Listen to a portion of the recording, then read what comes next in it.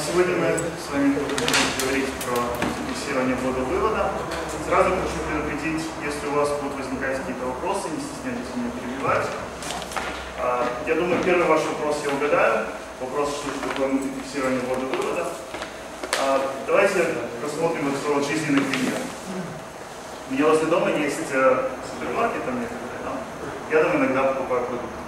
Вот купил я продукты, подхожу к кассе, ну а там уже э, кто-то э, к этой кассе подошел, пробивает свои продукты, э, кассирша ему пробивает, а, пробила, говорит ему сумму, а, он достает кошелек, начинает отсчитывать деньги, начинает э, искать мелочь. Да? Вот в это время, пока он отсчитывает деньги и пока он ищет мелочь, вы думаете, кассирша пробивает мои продукты? Нет. К сожалению, нет. А почему? Вопрос риторический, почему, да? Ну вот можно сказать, что потому что у нее плохо с мультиплексированием. А, на самом деле, пример, конечно, от э, информационных технологий отвлеченный, но можно э, его очень э, просто э, перенести в сферу программирования. Мы заменим кассира на сервер, а покупателя на клиента, да? И получится такая картина. Представьте себе, что вот вы заходите, э, я не знаю, ВКонтакте.ру, и вы полчаса не получаете ответ, потому что в это, э, в это время ВКонтакте.ру сервер общается с вашим соседом. Ваш сосед сидит на сайте, а вы на сайт зайти не можете. Естественно, было бы очень грустно. Такого не происходит именно потому, что э, сервер ВКонтакте.ру, э, у них с мультификсированием все нормально. А, может показаться, что э, проблема мультификсирования э, специфична именно для серверных приложений, это не так. Простейший пример – это хорошо известный вам браузер. А, допустим, самый простой пример, когда у нас открыта одна вкладка, а, мы а, идем в адресную строку, пишем google.com.ua, нажимаем Enter, начинает грузиться страница Google. Да? Начинает грузиться сама страница, там картинки и так далее. Вот. Но в какой-то момент вы понимаете, что вы на самом деле не хотите идти в Google, вы хотите идти в Яндекс. Вы передумали. А, соответственно, вы тянетесь вот к тому вот красненькому крестику, чтобы отменить эту операцию, значит, пойти и набрать Яндекс вот. Но представьте себе, что у вас ничего не получается. Вот вы нажимаете на красный крестик, ничего не происходит. Почему? А потому что в этот момент браузер полностью занят тем, что он загружает данные с сервера Google. Да? Он открыл какой-то сокет, он с него читает данные. И э, на самом деле общение э, того же браузера, по крайней мере, на Unix-системах с пользователем, идет тоже через сокет. Да? Это э, X-сервер, соответственно, работает через э, X11 сокет. И с этого X11 сокета он ничего не читает, потому что он в данный момент занят чтением с э, сервера Google. Опять-таки ситуация грустная. И опять-таки так не происходит, потому что у браузера с мультиплексированием все нормально. То есть я думаю, к этому моменту э, задача, проблема мультиплексирования более-менее ясна. Да? Проблема состоит в том, чтобы э, уметь реагировать на различные события более-менее одновременно, да, параллельно. Э, не блокироваться на одном событии, игнорируя все остальные. Э, сегодня мы обсудим основные подходы к решению этой проблемы. Э, интересно то, что мы будем рассматривать как очень низкоуровневые подходы, так и очень высокоуровневые подходы, и то, что э, в промежутке между ними попытаемся как-то их сравнить. А, из-за чего вообще возникает проблема мультиплексирования, почему она актуальна? А, в принципе, все вот из-за вот этого, в частности, вызова, вызов read. Что делает вызов read? Он берет файловый дескриптор а, и пытается прочесть оттуда какие-то данные. Да? А, давайте вспомним, что такое файловый дескриптор. Обязательно ли он соответствует файлу? Не обязательно, да? Да, это в частности может быть сокет. Именно эта э, ситуация нас сегодня будет интересовать. Когда, например, э, файловый дескриптор э, привязан к сокету. А что происходит, когда мы вызываем read, но в сокете на данный момент ничего нет, еще не пришла информация? Вызов read блокируется. Да? То есть он вернет нам управление только в тот момент, когда он получит информацию.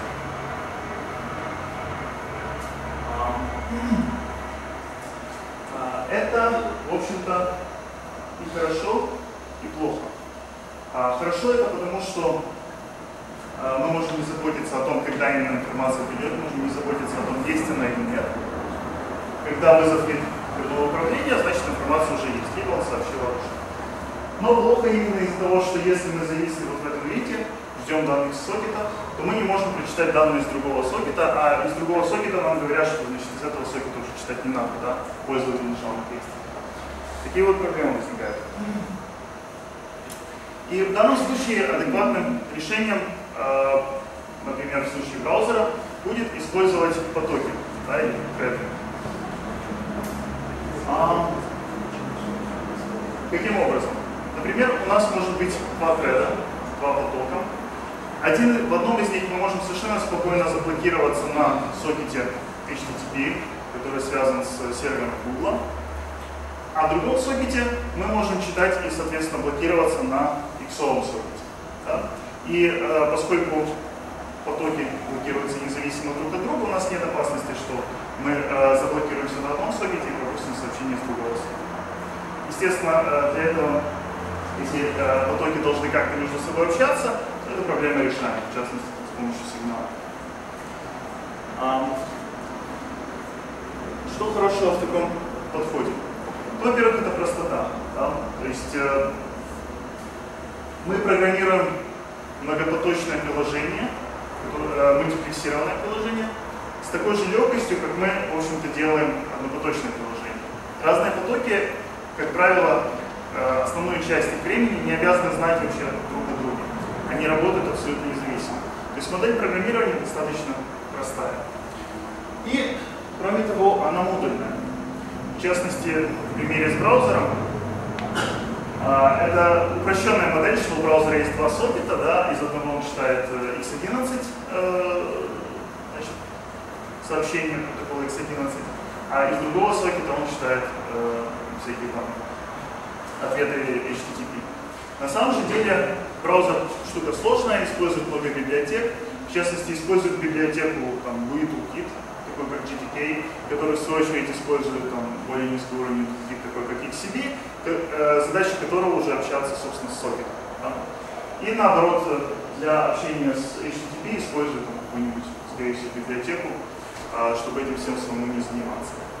И многопоточность позволяет нам использовать эти библиотеки, они друг о друге ничего не знают, но мы их можем комбинировать, и они будут хорошо работать. Один работает в своем потоке, другой работает в своем потоке. И, в общем-то, все чисто логически работает. В принципе, модель, конечно, неплохая. А можно ли эту модель применить к серверу? Ну, на самом деле можно, с этим сложно спорить, потому что, наверное, самый популярный на сегодняшний день сервер именно таким образом и работает, да, Apache. А, то есть он основан на процессах и на требах. Тем не менее, подхода есть и недостатки, иначе наша сегодняшняя лекция была бы очень короткой. А, в частности, если мы хотим иметь очень производительный сервер, мы хотим обрабатывать очень-очень много клиентов, десятки тысяч клиентов. А, у тредов есть такой маленький нюанс, что они требуют памяти. Почему они требуют памяти? Когда мы создаем тред, мы должны выделить под него стек стек, который будет использоваться функциями, которые работают треде. А, размер стека мы можем задавать при создании треда, но после того, как мы создали тред, размер стека поменять достаточно проблематично. И из-за этого, э, то есть, грубо говоря, мы его не можем динамически э, изменять этот размер, и из-за этого возникает такой вот э, компромисс. Если мы сделаем стек очень маленьким, наш сервер просто упадет с переполнением стека. Если мы сделаем стек очень большим, то особо не разгуляемся, потому что, ну, в частности, если не изменяет память, э, стек по умолчанию в Glibc это 8 гигабайт. Если у нас там в сервере нашем 2 гигабайта памяти, то вы можете прикинуть, э, сколько там получится, порядка 250 клиентов вместо наших десятков тысяч, которые мы хотели бы обрабатывать. Вот. Это одна проблема. Другая проблема – это переключение контекста. А, опять-таки, если мы хотим иметь очень высокопроизводительный веб-сервер, то а, мы хотим обрабатывать а, наши запросы очень быстро.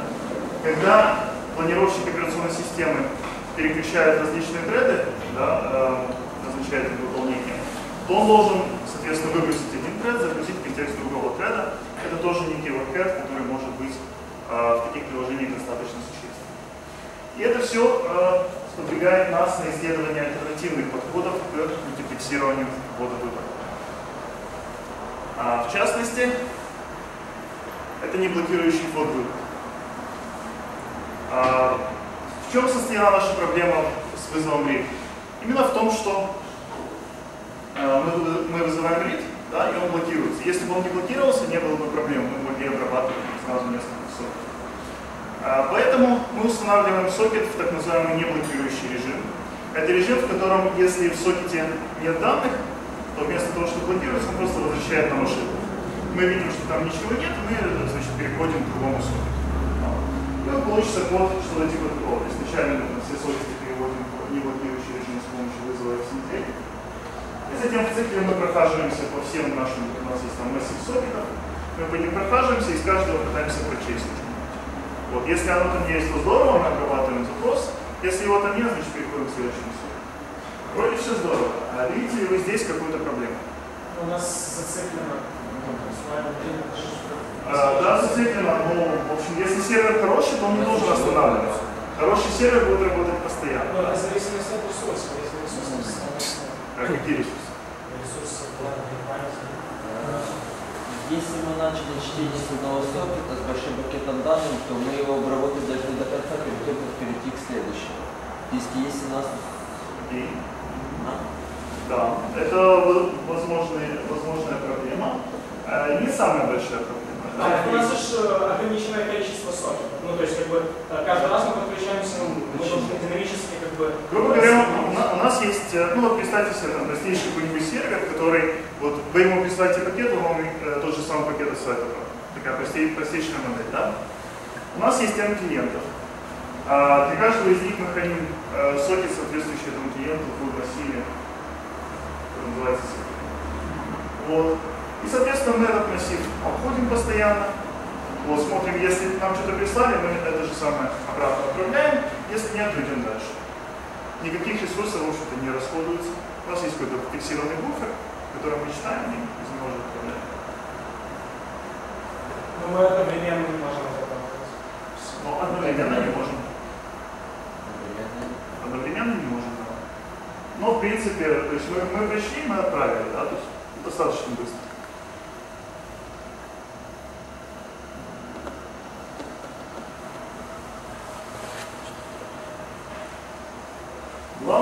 Проблема здесь в том, что, ну, представьте себе, что у нас вот десятки тысяч сокетов, да, и в одном из них есть данные.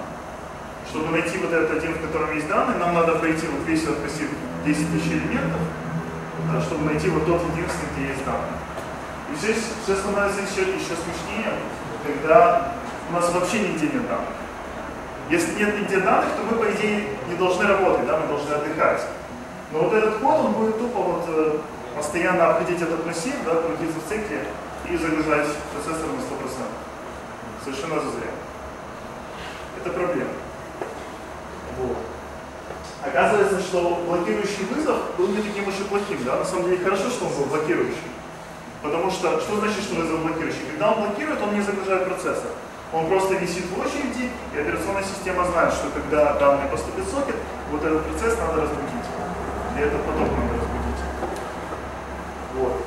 Же мы постоянно опрашиваем, и на это тратятся драгоценные ресурсы нашего процессора.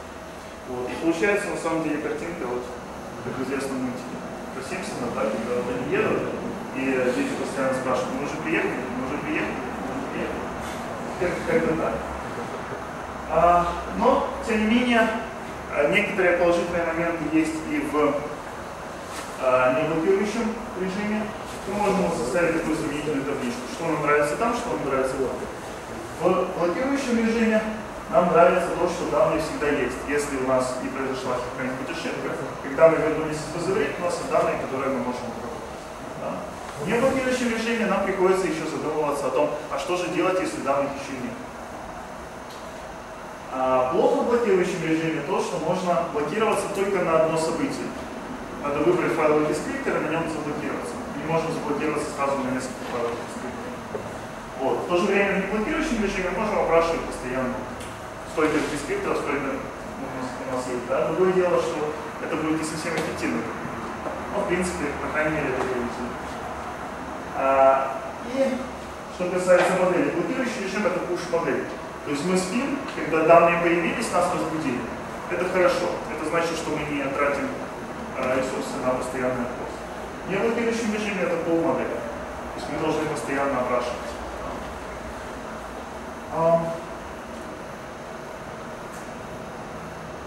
Что мы хотим? Мы хотим объединить достоинства одного подхода и другого подхода, взять лучшие из двух И это на самом деле возможно, в частности, используя вызов EPOL.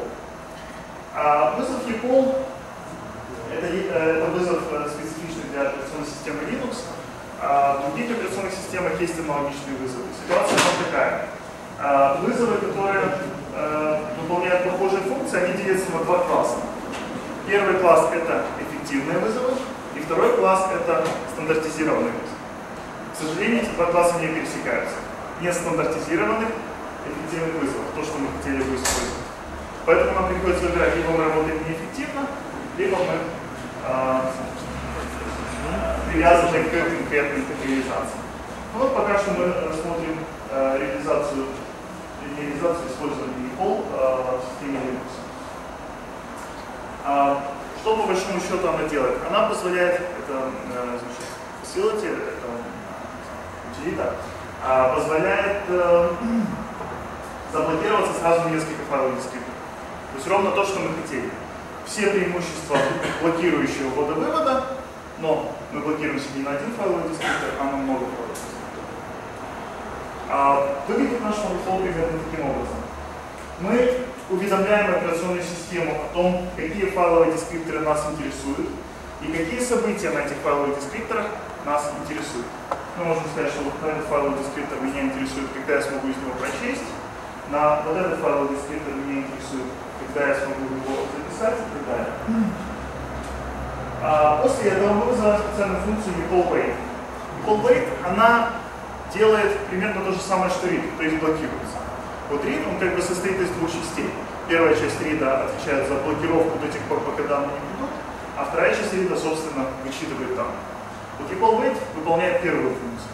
Он блокирует весь поток до тех пор, пока а, мы не получим а, какое-нибудь событие, которое нас интересует, каком-то нас интересует. И вот будет выглядеть примерно таким образом. Опять-таки цикл, да, while один, пусть это вас не пугает, еще раз. Хороший сервер никогда не падает. Если сервер остановился, это на самом деле плохо. А в цикле мы делаем что? Мы вызываем default Предполагается, что до этого мы зарегистрировали все э, дескрипторы, которые нас интересуют. Мы вызываем default то есть мы блокируемся, мы отдыхаем, пока, нам, пока для нас нет работы. Как только для нас появилась работа, default возвращает нам, нам управление, нас будет. И э, значит, э, краткий экскурс Wait, значит, Repol FT это файловый дескриптор самого EPOL. Ну, не так важно, что это, грубо говоря, идентификатор конкретного инстанса EPOL. Да. А events это массив, который EPOL будет записывать события, которые произошли. Max events это, собственно, размер этого массива, он знал, сколько туда можно записать. И последний аргумент это timeout хороших приложениях очень важно устанавливать тайм-аут, вот, иначе а, будут проблемы так с разными хакерами, которые делают, ну и просто очень будут проблемы. Но у нас такой вручный э, пример, поэтому я просто установил единичку, это значит, что нет На самом деле там должен быть. Вот. И дальше мы запускаем цикл по этому массиву. То есть Default Wait нам возвратил количество событий, которые он записал в массив мы организовываем цикл. Для каждого события э, мы можем узнать, на каком файловом дескрипторе оно произошло. Кроме того, мы можем, если захотим, узнать, какое именно событие, но здесь мы заинтересованы только в событиях чтения, поэтому не читаем. Вот, собственно, прочитали оттуда что-нибудь и дальше э, обрабатываем. Э, естественно, чтобы мы не заблокировались вот здесь, то нас не защитит от блокировки здесь. Да, поэтому все равно важно установить файловые дескрипторы в неблокирующий режим.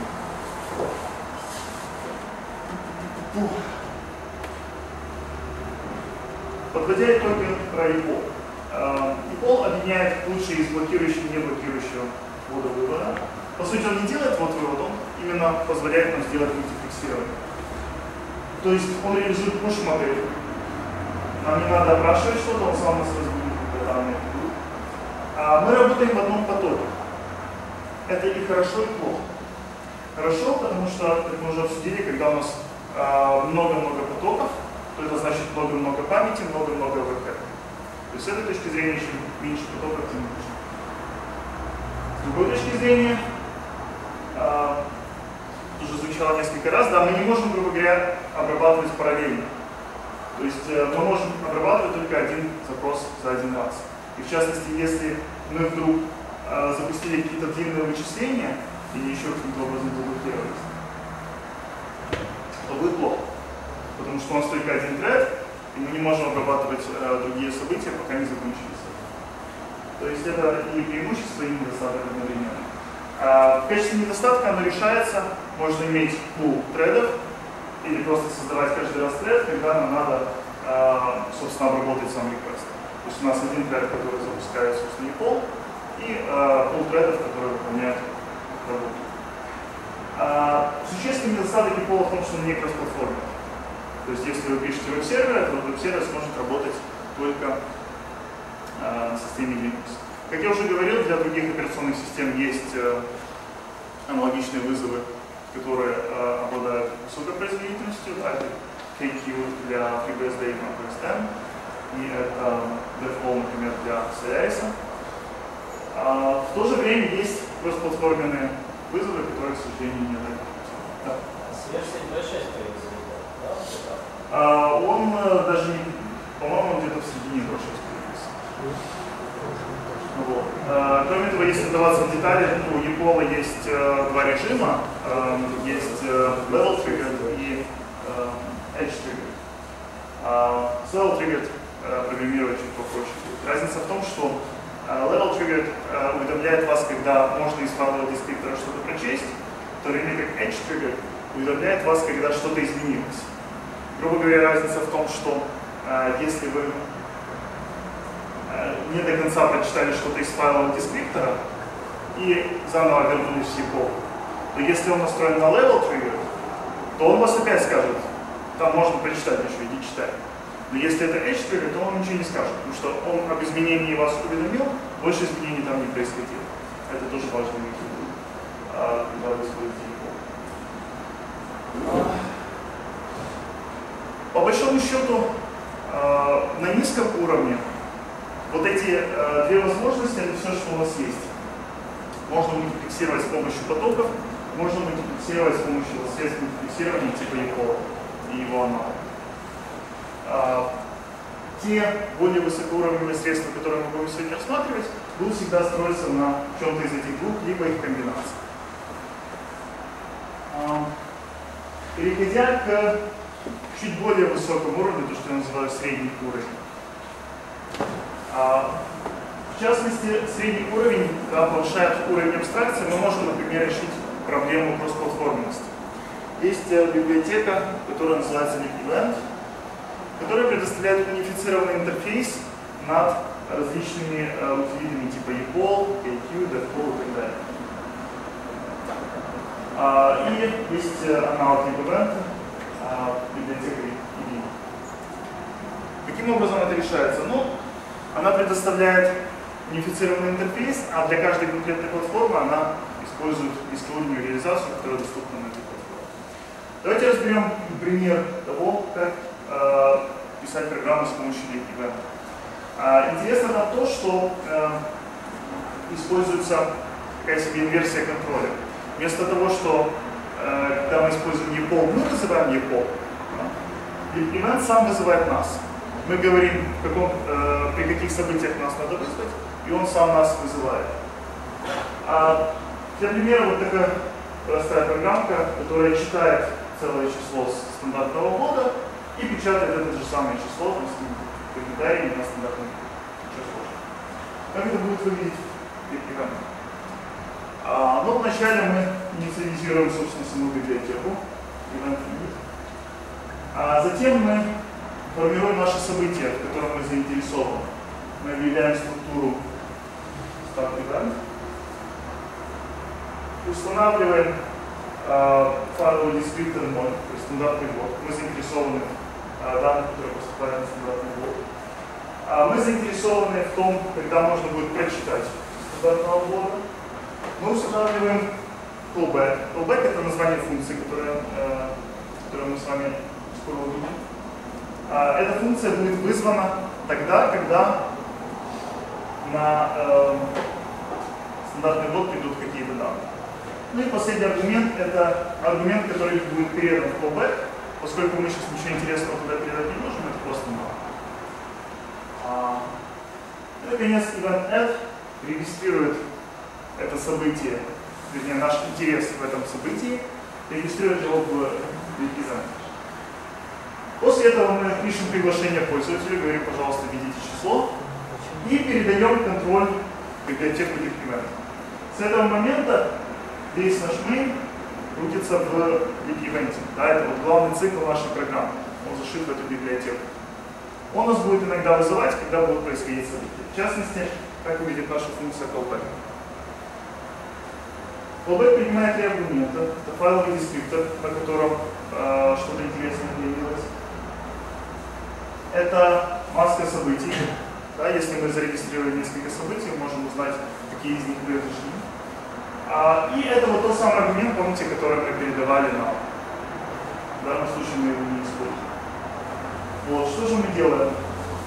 Ну, по большому счету, поскольку нам сказали, что можно читать, мы читаем, называем scan f, читаем целое число и выводим его. В общем-то, почти то же самое, что было до этого. Разница в том, что мы часть нашего мейна выделили в отдельную функцию, в callback. Да? И мы сказали э, вызвать этот callback только когда произойдет некое событие. А, чуть более интересно становится, когда у нас, например, есть несколько блокирующих вызовов э, в одной функции. Тогда мы должны проводить эту процедуру несколько раз, это распределение. Например, если мы хотим прочитать два числа и вывести их в сумму. Читаем два числа, да, приглашение, читаем первое число, читаем приглашение, читаем второе число и выводим их сумму. Вот так все просто, если мы не заморачиваемся мультиплексированием. Если мы заморачиваемся мультиплексированием, используем, например, event, в принципе, наша функция main практически не поменялась. Вроде очень. Только первый запрашивает, второй сам А, если callback появился callback. А, да, мы э, печатаем приглашение только для первого числа. Да? Когда к нам приходит первое число, вызывается callback 1. Как выглядит callback 1? Callback 1 это уже такая большая жирная функция. Почему она большая жирная, мы сейчас обсудим. Но э, главное, что здесь происходит, мы читаем целое число. Читаем целое число. А, печатаем приглашение для ввода второго числа, потому что другого шанса у нас уже не будет. Как только мы выйдем из этой функции, управление передастся в главный цикл либо это наш последний шанс напечатать приглашение для второго числа. И э, мы опять-таки регистрируем наш интерес в этом событии, но уже говорим, что э, дальше передать управление в callback 2, потому что там будут другие уже действия, да, в частности нам надо будет вывести сумму. Callback уже другой. Событие, в принципе, выглядит так же самое. Да. Если один и тот же файловый дескриптор, одно и то же событие, оно перетирает э, старый э, ивент? Или же они оба остаются? Хороший вопрос. А, я думаю, что они оба остаются. Тогда почему вызваться callback 2 в следующий раз? а callback Дело в том, что когда callback один вызвался, то есть он уже вызвался, событие чистилось. Да, так как при следующем, э, при следующих данных на Нет, STD име- имеется в виду, что вот мы сказали, когда событие произойдет, вызови, пожалуйста, callback. Событие произошло, вызвался callback. Дальше никаких обязательств нет. Да. Все. То есть за- забыли про то событие, которое мы тогда вот регистрировали. Нас на нем уже вызвали. Если мы хотим э, продолжать работу, мы регистрируем его опять. А, то есть э, вот это событие сразу же после... А, после того, как оно отработало... Да, оно оно одноразовое. А, Оно ну, да, понятно. Теперь э, вкратце давайте обсудим, почему эта функция выглядит чуть сложнее, чем нам хотелось бы.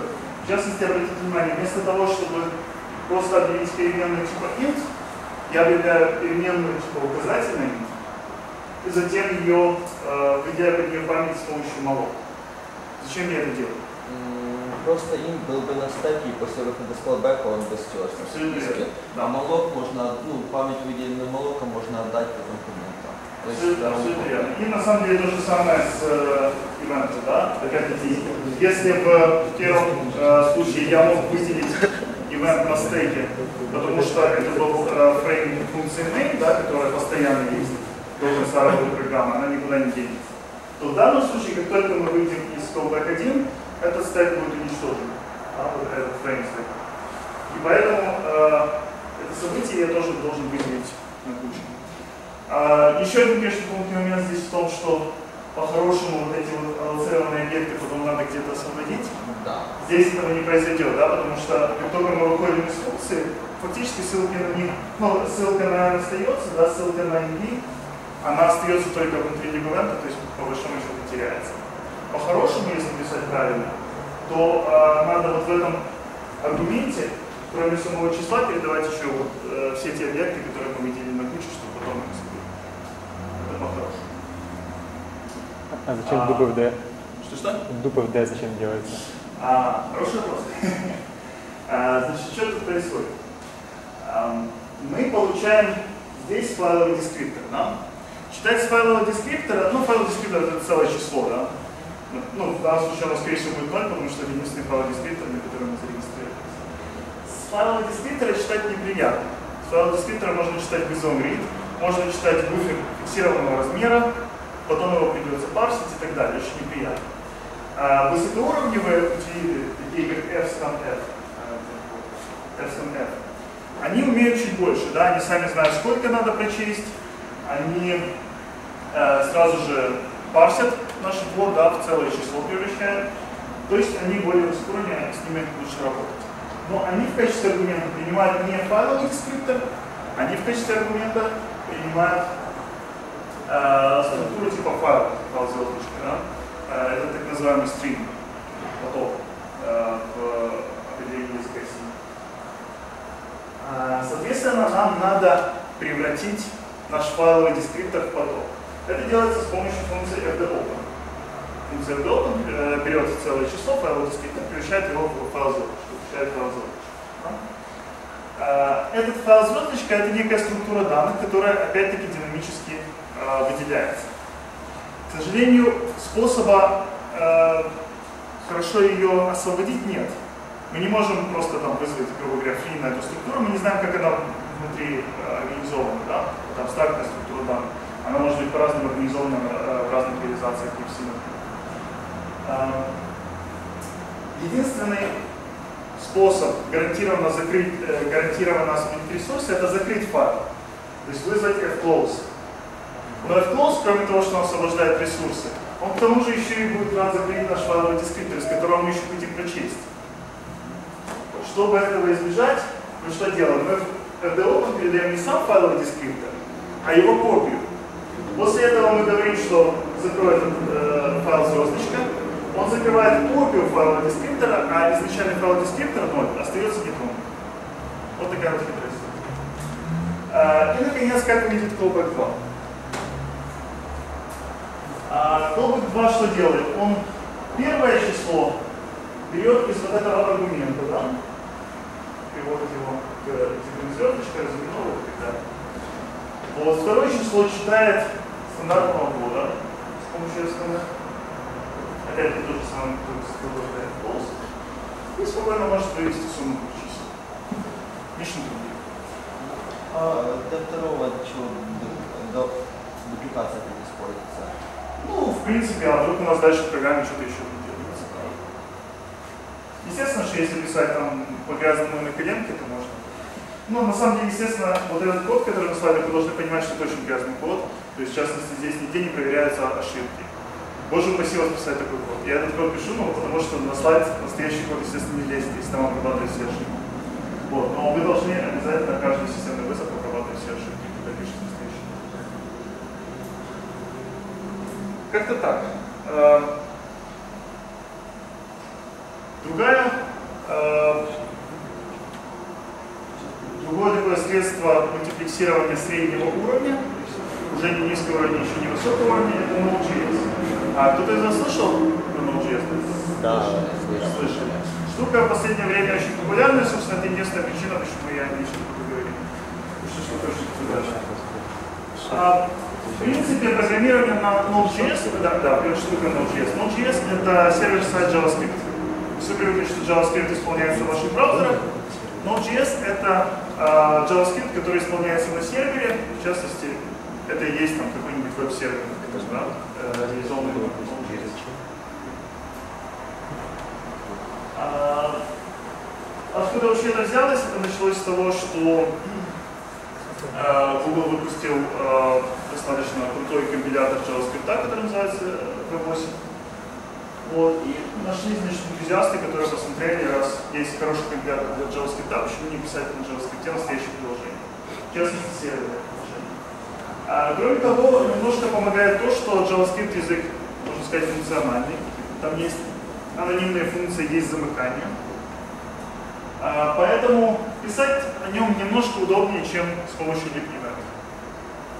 А, в частности, потому что вот этот пример делает то же самое, что было на, на предыдущих трех слайдах. Да? То есть он считает два числа и а, возвращает их сумму.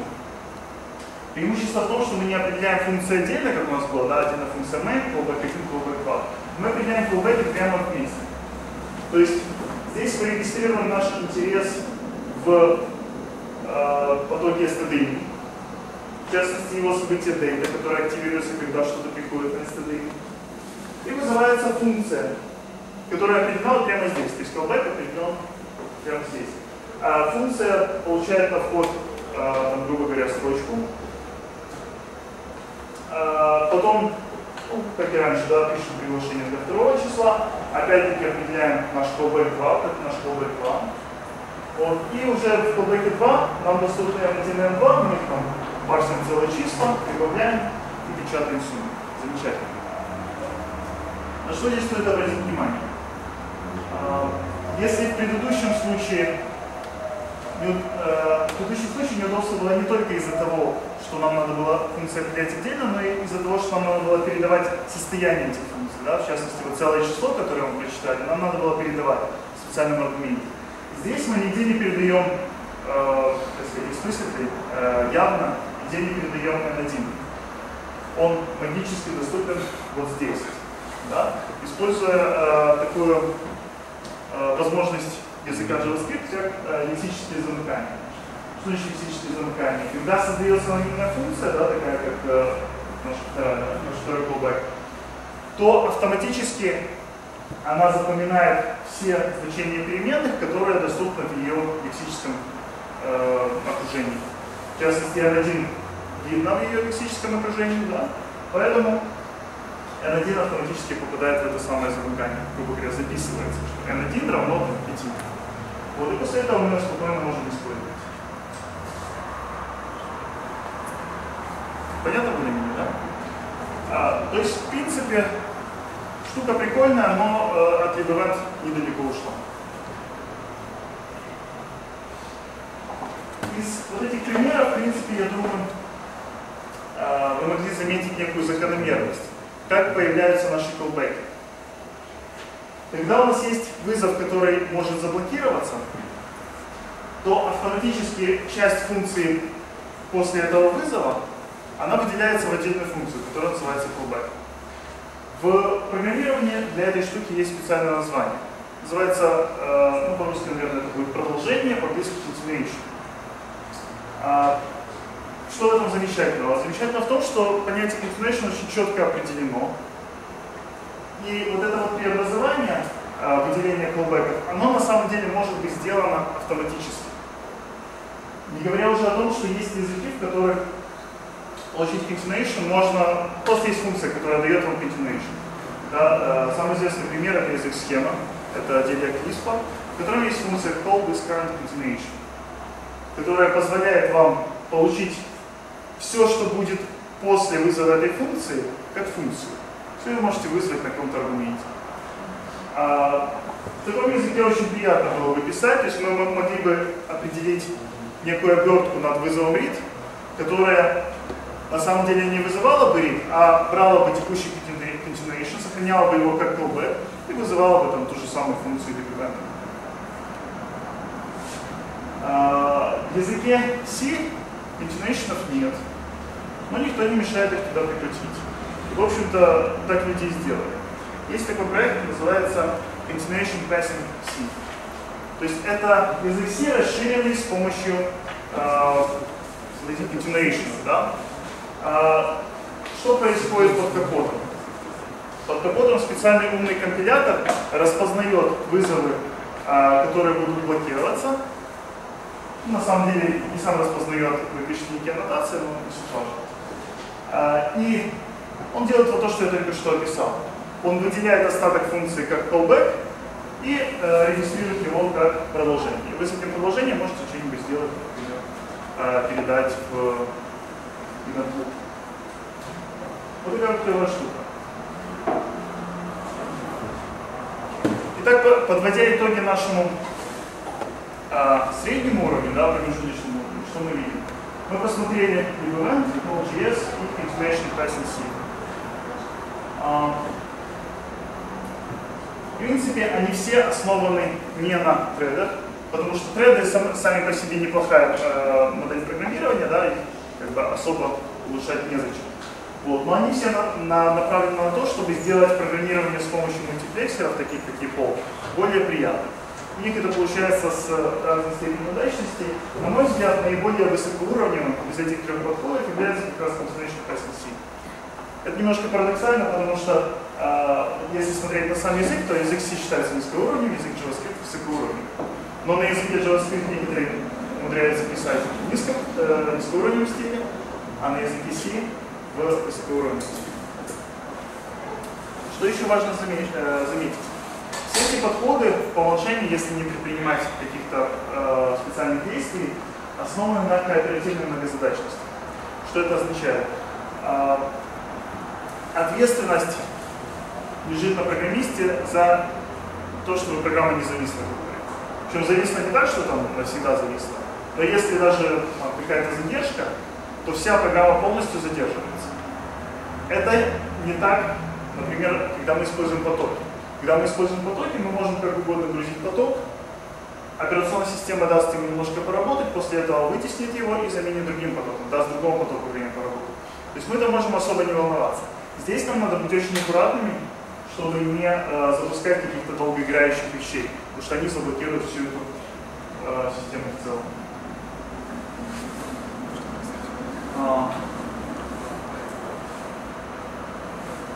Вопросы на эту тему есть?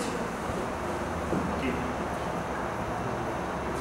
Вот. И, наконец-то, мы переходим к самому высокому. А, Как ни странно, этот высокий уровень – это примерно то же самое, о чем мы говорили в начале. То есть мы опять возвращаемся к потоку. Как я уже говорил, потоки – это очень неплохая модель программирования. А, на самом деле, главные наши претензии к потокам были не к модели программирования как таковой. Претензии были к реализации. Нас не устраивало подтверждение памяти, нас не устраивало переключение контекста. Поэтому, если мы хотим получить хорошую модель программирования, давайте начинать с потоков и улучшать саму реализацию. И это сделано, например, в таких языках, как Haskell и Erlang. Это высокоуровневые функциональные языки. А сама эта фича называется легковесные потоки. Что такое легковесные потоки? Для программиста на этих языках они, в общем-то, особо не отличаются от обычных потоков операционной системы. То есть модель та же самая, другая реализация. А, Я сейчас вкратце опишу реализацию легковесных потоков Haskell, потому что я с ним чуть больше знаком. Но я думаю, что в Erlang более-менее то же самое происходит. Что происходит в Haskell? А, Каждый легковесный поток – это сущность, которая существует сугубо внутри Haskell. Операционная система про них ничего не знает. Да? Некая абстракция. А, Каждый поток может находиться, условно говоря, в одном из трех состояний. Что может делать поток? Поток может что-то считать, да? проводить какие-то вычисления. В таком случае он э, планируется э, внутренним хаскельным планировщиком. Да? То есть для него выделяется время, он поработал немножко, посчитал, вытеснился, дал другому поработать. То есть это вытесняющая многозадачность. Что происходит во втором состоянии? Во втором состоянии поток может заблокироваться на какой-нибудь операции ввода-вывода, например, на сокете. Да? Это, в общем-то, то изначально, для чего мы сегодня использовали потоки, для мультиплексирования. Мы заводим, например, по треду на каждый сокет и э, позволяем им блокироваться. Что при этом происходит? А, у Haskell, на самом деле не совсем корректно говорить здесь Haskell, поскольку я имею в виду конкретную реализацию Haskell, это GHC, Glasgow Haskell Company. А, так вот, у GHC э, есть отдельный поток, это поток операционной системы, настоящий поток, который называется поток ввода-вывода. Этот поток отвечает за все операции ввода-вывода. И внутри себя этот поток использует опять-таки EPOL или другую а, возможность, доступную на данной платформе. Да. То есть, грубо говоря, там происходит нечто похожее, что мы видели вот там в DBGAN и так далее. А, вызываем EPOL, да, а, смотрим, есть ли какие-то нотификации и обрабатываем. Что происходит, когда какой-то поток, легковесный хаскельный поток, пытается осуществить операцию ввода-вывода, которая может заблокировать. Вместо того, чтобы сам делать эту операцию, в чем проблема, если он сам будет делать эту операцию, легковесный поток? Он может блокировать весь э, поток. Да, он, он, он заблокирует весь, э, весь поток операционной системы, а на этом потоке могут быть еще какие-нибудь а, э, легковесные потоки. Поскольку, как правило, э, легковесных потоков гораздо больше, чем потоков операционной системы. Поэтому вместо того, чтобы подвергать себя риску заблокироваться, он сообщает в поток ввода-вывода, говорит, поток ввода-вывода. Я хочу прочитать из такого-то сокета. Но я подозреваю, что там может не быть тех данных, которые хочу увидеть. А поток ввода-вывода берет под козырек и говорит, хорошо, я запомнил, ты, э, ты интересуешься данным, э, файловым дескриптором. Он добавляет этот файловый дескриптор себе в очередь EPOL, то есть регистрирует интерес в этом файловом дескрипторе и усыпляет поток, который к нему обратился. Да, добавляет его, грубо говоря, в очередь. После этого он сам засыпает, вызывает, условно говоря, EPOL wait и усыпает меня. Затем его будет EPOL wait, говорит, поток ввода-вывода. Есть новое событие, обработай, пожалуйста. Поток ввода-вывода смотрит, кто регистрировал интерес в этом событии. Говорит, ага, это вот тот поток, легковесный хаскельный поток. И он, соответственно, говорит планировщику Хаскеля, чтобы он возобновил тот поток и дал ему возможность провести операцию ввода тока. То примерно вот так это происходит. И, наконец, третий интересный режим а, это а, вызов внешних, а, скажем так, функций. Внешних по отношению к Haskell. Дело в том, что э, у Haskell есть возможность вызывать, например, функции, которые написаны на языке C. Достаточно полезная возможность, есть мы можем, например, использовать библиотеки, которые э, были написаны на этом языке. В чем проблема с этими вызовами? Мы не можем их контролировать, мы не можем рассчитывать на то, что вот эти библиотеки, которые, бог знает кем были написаны, будут настолько вежливые, что они будут обращаться к нашему потоку ввода-вывода и там, просить его э, присмотреть за файловым дескриптором. Мы не можем на это надеяться. Поэтому каждый раз, когда мы делаем внешний вызов какой-либо функции, написанной на C, мы просто создаем для этого новый поток операционной системы, новый тред. Создаем, либо берем из имеющегося пула и запускаем вызов C. Больше ничего в этом потоке операционной системы не выполняется, потому что эта штука может заблокироваться, нам туда ничего не надо. То есть она там себе работает в этом потоке. Когда она возвращается, этот э, поток операционной системы добавляется, например, обратно. То есть примерно вот так это работает. И а, в, итоге, в итоге что мы получаем? С одной стороны, мы получаем эффективный мультиплексинг, да, ввода-вывода с помощью непола. С другой стороны, мы получаем вытесняющую многозадачность. Не будет проблемы, если э, какой-то поток вдруг захотел э, посчитать там, 122 член э, последовательности Фибоначчи. Э, то есть, в общем-то, все самое лучшее из того, что мы сегодня видели, мы собрали. Кроме того, это очень четкая, понятная модель программирования. Это потоки, то есть мы пишем поток, как будто мы одни во Вселенной, мы ни о ком больше не запутаемся. Можем блокироваться на чем угодно и ни о чем не. Примерно так. А, в общем-то, это плюс-минус все, о чем я сегодня хотел рассказать. А, главные идеи за сегодня были какие? А, я попытался различать а, такие популярные мифы. Во-первых, это миф о том, что есть высокоуровневые языки, есть низкоуровневые языки. Вот мы видели э, то, что... То есть они, конечно, есть, но это некие стереотипы, да? На высокоуровневом языке можно писать низкоуровневый стиль, и наоборот, на низкоуровневом языке можно писать высокоуровневый стиль, как показывают примеры Node.js и изменяющий а, Второй миф о том, что когда мы повышаем уровень абстракции, то автоматически все становится не таким эффективным. Это наглядный пример того, как мы повысили уровень абстракции, мы придумали какие-то свои потоки, которые ничему э, не обязаны соответствовать. И при этом мы получили более эффективную реализацию, чем ту, которую мы имели на низком уровне с помощью исключительно EOLA или с помощью исключительно потоков операционной системы. И, наконец, миф о том, что э, высокоуровневым языкам не место в системном программировании. Этот миф лучше всего развенчивает э, успех Erlang в современных приложениях, потому что не только современных, но, слава богу, уже больше 20 лет. Он успешно применяется э, в различных э, приложениях системного программирования. Вот примерно как-то так. А, есть ли у вас вопросы по чему-либо из рассказанного? А, об этих легковесных потоках сравнили с э, стандартом памятного производительности обучения? А, по памяти, естественно, гораздо меньше, потому что мы не выделяем вот этот большой стек, да, который безопасный.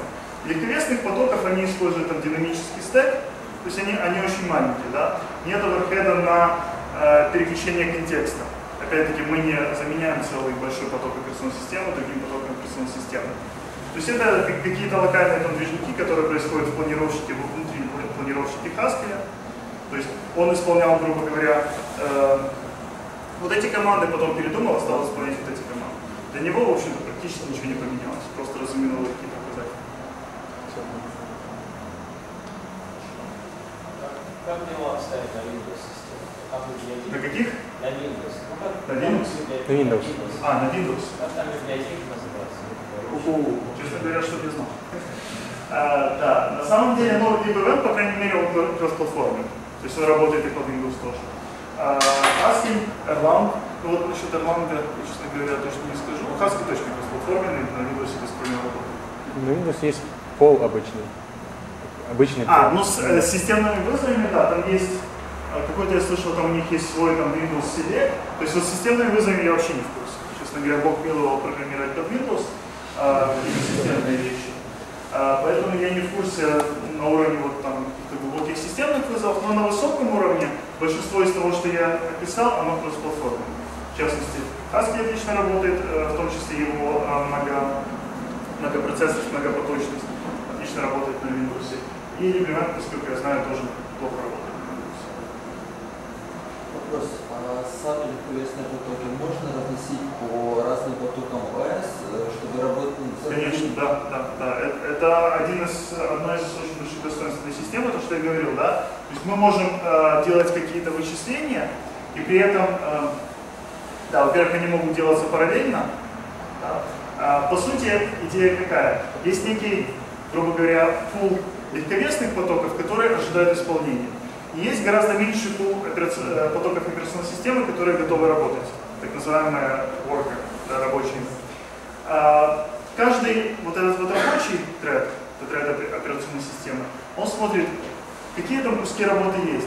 И он по большому счету вот смотрит, вот этот кусок работы есть, он давно не выполнялся, дай-ка я его поделаю.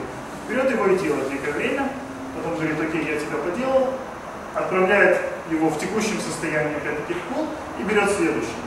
То есть, грубо говоря, есть, условно говоря, если там 4-ядерный процессор, будут 4 рабочих треда, которые будут э, каждый независимо друг от друга брать просто из общего пола какие-то задачи и их решать. То есть оно все очень отлично проверяется, абсолютно прозрачно для Продолжая этот вопрос, это заказ. Да, ну вот где пол, допустим, вот я поставил Nginx и указал, что там я использую и пол, прописал сотни общение Nginx и Да. Если у меня многоядерная система, то она будет работать с. Я А, Сам по себе Никол этим не занимается. А, Я не знаю, в Nginx э, есть ли э, какие-то возможности для этого или нет. То есть, грубо говоря, озабачивается ли он тем, чтобы распараллелить себя или нет. Э- Этого я сказать не могу. Это возможно сделать, как я говорил, а, опять-таки иметь пул тредов. То есть есть один тред, который выполняет, собственно, EPOL, а дальше для самих задач, да, для обработки запросов, мы можем, например, э, если там какие-то вычисления надо провести, можем отдать его треду. Тред его делает, потом обратно там, нам как-то сообщает результаты. То есть такое возможно. Делать это конкретно Nginx? А синхронизация электровесных потоков то же самое, что и RF, я же. А, си- синхронизация, она зависит, ну вот в частности, она немножко по-разному сделана в и Erlang. В Erlang там э, своя очень специфическая модель, это модель сообщений, да. Там э, потоки отправляют друг другу сообщения, э, и, соответственно, поток может ждать, э, когда ему придет сообщение. Такая форма синхронизации. В Haskell все немножко интереснее даже, потому что есть э, больше одной возможности. А, Есть э, так называемые эмвары. А, Что такое эмвар? Это переменная э, с приотаченным к ней локом. То есть можно, например, заблокироваться на эту переменную, да, а кто-то потом туда что-то положит, и мы разблокируемся. То есть вот такая форма синхронизации есть. Это очень базовая форма синхронизации, по большому счету очень похожая на обычные там, логи, семафоры и так далее. А, Есть в Haskell очень интересная концепция, которая называется STM, Software Transactional Memory. А, Или там по-русски, э, не знаю. Программная транзакционная память. Так как? Программная транзакционная Программная память. транзакционная память. А, Что это такое? Если вы знакомы с базами данных и с понятием транзакций в базах данных, да, что там происходит? Мы делаем какие-то делаем какие-то операции, предположение, что кроме нас никого нет, что мы одни во Вселенной. Да? А, И делаем значит, набор этих операций, говорим, что это одна большая транзакция. В реальности же, параллельно с нами кто-то еще мог делать какие-то операции. И возможно, что две транзакции как-то между собой могли э, пересечься повлиять друг на друга. В этом случае эти транзакции откатываются назад и выполняются еще раз. Примерно такая же ситуация вот в кастомной транзакционной э, памяти. То есть мы можем э, делать какие-то вещи, то есть, грубо говоря, это э, не совсем синхронизация, это конкурентное программирование без, по большому счету, без логов. Да. Мы делаем какие-то операции, потом мы говорим commit, да, загомитить эту транзакцию. И если все хорошо, то она записывается, грубо говоря, в настоящую память. Да? То есть какие-то э, расшаренные переменные, какие-то общие переменные для нескольких потоков, вот таким вот образом обновляются. Если же, например, э, два потока внутри своих транзакций там, более-менее одновременно пытались записать ту же самую, то они оба откатываются и потом опять пытаются их применить. Почему, э, ну, во-первых, как- какая история этой штуки? Эта штука изначально, если я не ошибаюсь, была придумана для Java. Была придумана для Java, но там они, в общем, э, ничего не получилось. Почему? А потому что в Java, как и, в общем-то, в 99, наверное, процентов языков программирования, есть сайд-эффекты. Что такое сайд-эффекты? Ну, например, можно вывести что-нибудь на экран, да? Вот. Сайд-эффекты интересны тем, что их нельзя отменить. Вся суть транзакционной памяти в том, что мы что-то попытались сделать, не получилось, мы отменили и попытались заново. Если мы что-то вывели на экран, мы не можем это отменить. Но вывод на экран может казаться не такой большой проблемой. Вот. А если, например, у нас есть вызов э, функции, которая запускает ракеты, то вот это отменить будет особенно сложно. Вот. А, Поэтому а, в большинстве языков программирования а, транзакционную память пытались реализовать, потому что это очень красивая концепция. Она помогает писать безопасные приложения очень легко, есть приложения, грубо говоря, без дедлока. Вот. Но вот с этой проблемой очень трудно справиться. Haskell язык чистый, у функций нет сайд-эффектов. Поэтому можно попытаться выполнить функцию, применить функцию, потом ее откатить. Работает очень красиво. А, правда, вот недавно я видел, где-то в интернете пробегала ссылка, что в каком-то языке, абсолютно не помню в каком, но, э, короче, опять чуть-чуть не в языке C, а, попытались добавить э, STM. Не знаю, может, может быть, наконец-то получилось.